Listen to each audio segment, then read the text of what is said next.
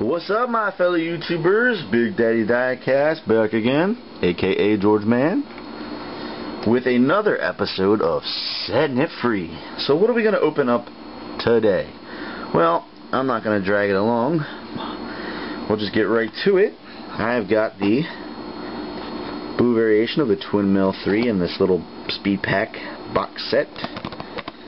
Comes with a mini poster, some stickers, and a racing license, and a coupon.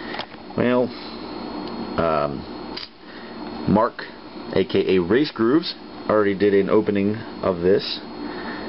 Um, uh, it's nothing special, but I do like the Twin Mills, and I like the Twin Mill 3s. I think the Twin Mill 2s are absolutely hideous. That is my personal opinion. Again, I'm sorry if it offends anyone. Uh, no, trying not to offend anyone. It's not my intention. Let's go ahead and crack this bad boy open and set her free. Alright. Um, who's the retard who can't open up a box? Okay. Alright. There we go. Very sweet. Very nice. I believe this is my first Twin Mill 3 I actually have opened.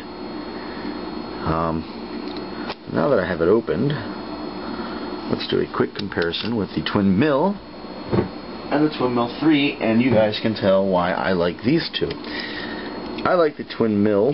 This is the original one, the first one, Twin Mill 1, and this is Twin Mill 3.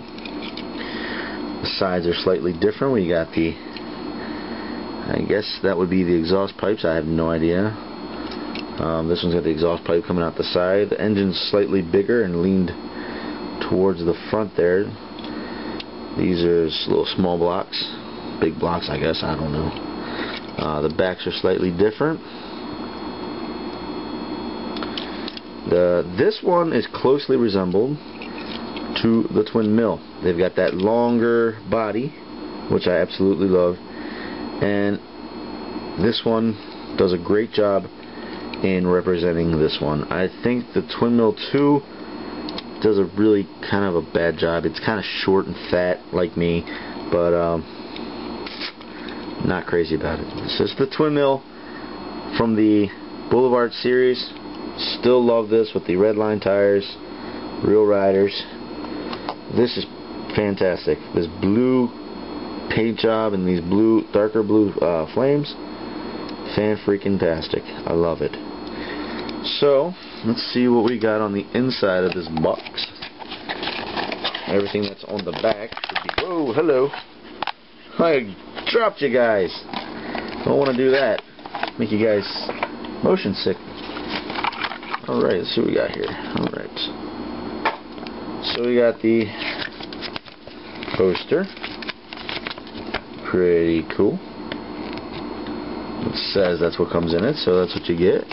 You get the uh, driver's license. That's pretty cool. And I guess this would be the stickers. Pretty nice. Nothing too spectacular. Just a color variation of the Twin Mill 3. Another one of my favorites. Twin Mill and Twin Mill 3. Very, very, very awesome. Very cool cars. Be nice to have in real life, but one can only dream, right? Alrighty. That concludes our episode of Setting It Free for today. We will continue tomorrow with something new. Or not new, but you know. You know what I mean. It's a new video.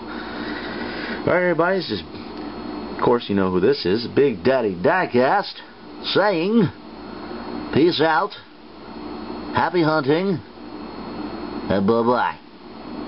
Oh yes, and be safe. Alright? Peace out. Bye-bye.